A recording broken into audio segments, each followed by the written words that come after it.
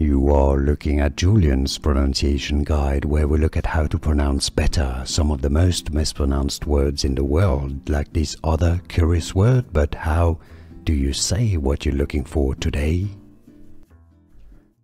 The name of this medication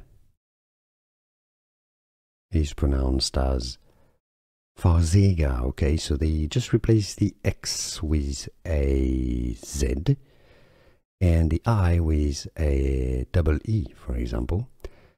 So it makes it a lot more easier, not Farxiga or Farxiga, Farxiga, with a stress on that Z syllable here, Farxiga. Now you know. Here are more videos on how to pronounce more confusing words and names too many mispronounced. Like this video if you found it useful, I appreciate your support. I'll see you soon and thanks for watching.